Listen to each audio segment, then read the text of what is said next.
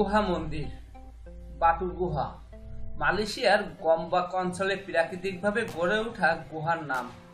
চুনাপাথরের তৈরি পাহাড়ের অবস্থান মালয়েশিয়ার রাজধানী কুয়ালালামপুর থেকে তেরো কিলোমিটার উত্তরে অবস্থিত। এই এলাকার নাম সুঙ্গাই বাটু বা বাটু নদী, যা এই পাহাড়ের পাশ ঘেঁষে বয়ে চলেছে। এমনকি এই বাটু গুহার নামে এখানে একটি গ্রামও রয়েছে।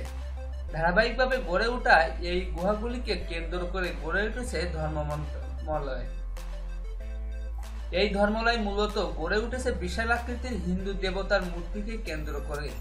এই মন্দিরে প্রবেশের মূল দরজায় রয়েছে দুশো বাহাত্তরটি সিঁড়ি। বিশেষজ্ঞদের মতে এই গুহার বয়স চারশো মিলিয়ন বছর। এই গুহার মধ্যে ঢুকার অনেকগুলি প্রবেশদ্বার রয়েছে। এই গুহাগুলির দরজাগুলি মূলত ব্যবহৃত হতো মালয়েশিয়ার আদিবাসীদের দ্বারা। তারা অন্যান্য গোত্রদের থেকে নিজেদের বাঁচাতে এই গুহাগুলি ব্যবহার করত। মালয়েশিয়া আদিবাসীদের নাম ওয়ারাং আসলি। চুনা পাথরের তৈরি এই গুহাগুলি বিখ্যাত হয়ে ওঠে উনিশশো আঠারোশো সালে। যখন ঔপনিবেশিকদের নিয়ন্ত্রণে ছিল মালয়েশিয়া, এ সময় সর্বপ্রথম আমেরিকার প্রকৃতিবিদ উইলিয়াম হোমাডি চুনাপথরের তৈরি এই গুহাগুলিকে বিশ্বের সামনে তুলে ধরে। আর তখন থেকে বিখ্যাত হয়ে ওঠে বাটু গুহা।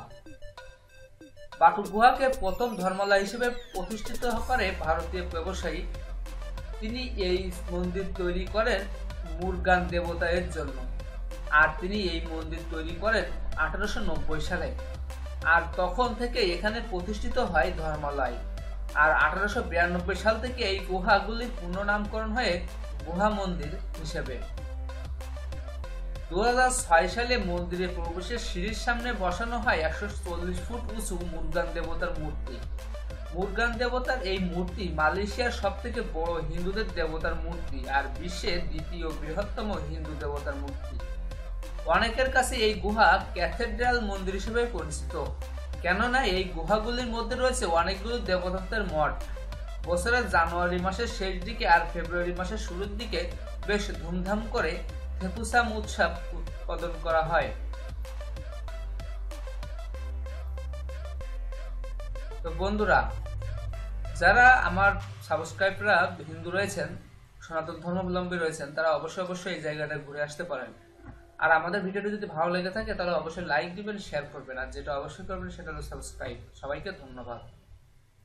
I'm the realest one that's repping. Oh my god, oh my God, if I die, I'm a legend. When they lay me